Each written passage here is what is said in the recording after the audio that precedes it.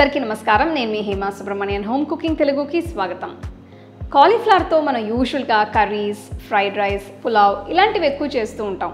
అయితే ఇవాళ కాలీఫ్లవర్తో ఒక మంచి కొత్త రకమైన స్నాక్ రెసిపీ చూపించబోతున్నాను.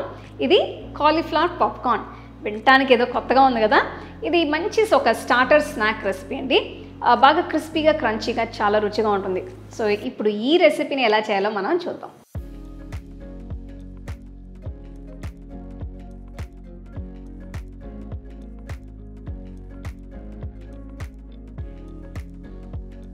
కాలీఫ్లవర్ పాప్కార్న్ చేయడానికి ముందుగా కాలీఫ్లవర్ని చిన్న ముక్కలుగా కట్ చేసి ఉడికించాలి.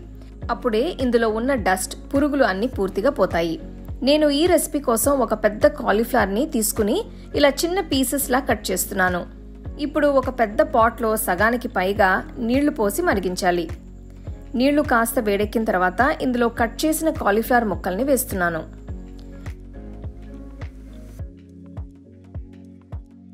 వీటితో పాటు ఒక టీ స్పూన్ ఉప్పు కూడా వేసి పాట్కి ఒక మూత పెట్టి కాలీఫ్లవర్ని కనీసం ఐదు నిమిషాలు ఉడికించాలి.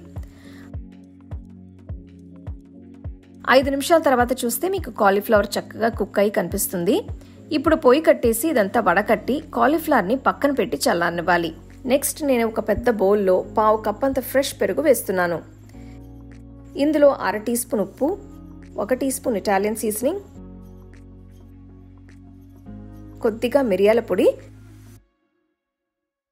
మూడు టీ స్పూన్ల మైదా పిండి రెండు టీ స్పూన్ల స్పైసీ చిల్లీ సాస్ వేసి అంతా బాగా మిక్స్ చేయాలి.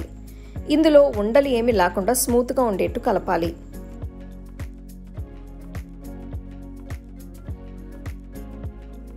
ఇప్పుడు ఉడికించిన కాలీఫ్లవర్ ముక్కల్ని ఒక్కొక్కటిగా తీసుకుని ఈ పిండి మిశ్రమంలో పూర్తిగా డిప్ చేసిన తర్వాత బ్రెడ్ పొడితో కోట్ చేయాలి.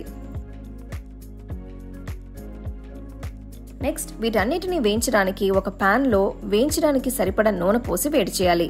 నూనె వేడెక్కిన వెంటనే ఇలా కోట్ చేసి ఉంచిన కాలీఫ్లవర్ ముక్కల్ని ప్యాన్లో ఒక్కొక్కటిగా జాగ్రత్తగా వేయాలి.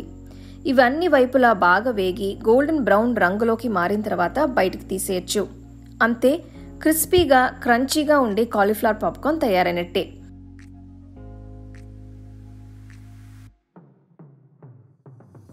చూసారు కదా?